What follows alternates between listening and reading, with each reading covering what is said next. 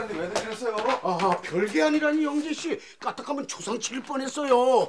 물론 회사장이고 동상도 세워줄 만한 영웅적인 행동이었지만은 무모했어요. 무모. 자, 어이, 어이, 어이.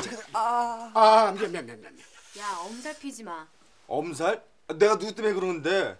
누가 너들 바보같이 달려들어서 사고 치래? 아, 김윤 씨 너무한다. 살신성인.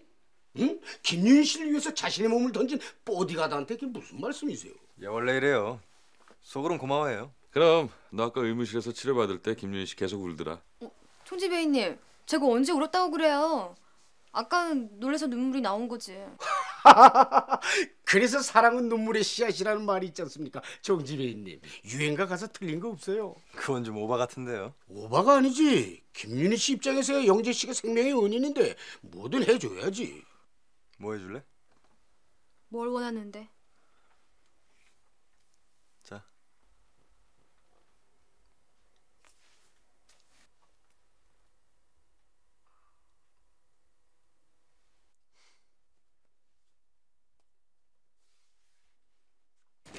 어딨어 영재? 총집에? 네, 저, 아니, 어머 세상에 이게 무슨 일이니? 아니 어, 어디야 칼에 찔린 데가?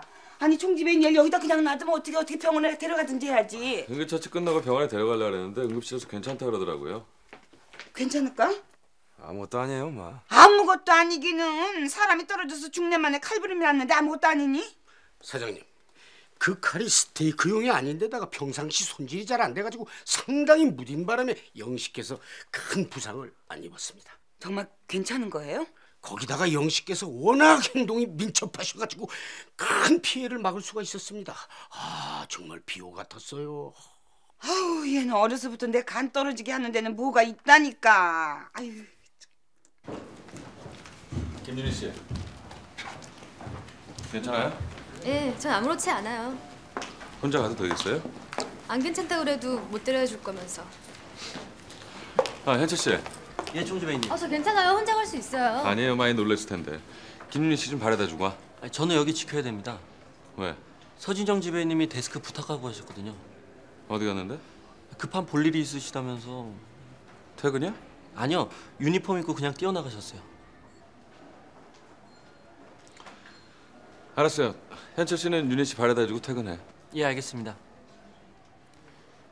오늘 일 우리 집에서 알면 안 되는 거 아시죠?